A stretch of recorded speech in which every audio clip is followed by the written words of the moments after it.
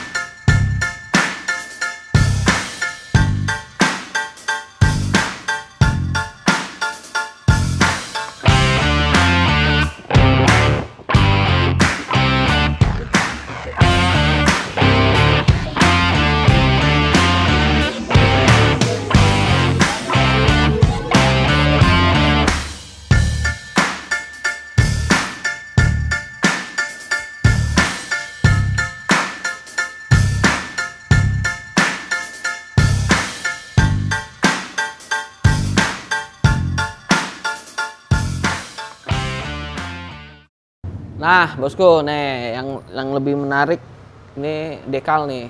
Ini dekal ngikutin CRF 2022 yang sekarang keluar nih. Dia mau itu konsepnya dari dia sih emang. Kita cuma nerusin aja, nggak mau ada apa-apa. Terus nih stang diminta ganti protector, cuman dia mau warna merah. Alhamdulillah rezekinya bagus, dia dapat warna merah juga. Nah, ini pelek gue kekerin nih. Kalau bukan gue bilang sama dia kalau ke pelak nggak ganti-ganti kalau ban bisa ganti. Ini pakai TK 300 belakang 425 walaupun diganti arem ini ban udah cukup nih. 120 160 belakangnya. Udah bagus lah. Nggak banyak yang dirubah sih cuman ini karena dia maunya pelan-pelan dia nikmatin katanya. Sama knalpot juga. Gue ganti pakai punya pro speed dia biar agak enak kata dia gitu. Nah nanti lo lihat di tes sama anak buah gue seperti biasa. Jadi ini oh iya ini satu lagi lampu belakang ini kasih yang lebih simple karena udah bannya gambot jadi keren gitu. Nanti di tes seperti biasa sama anak buah gue ya. Udah bosku jangan lupa subscribe, like, share di channel. Oke, thank you bosku gas terus.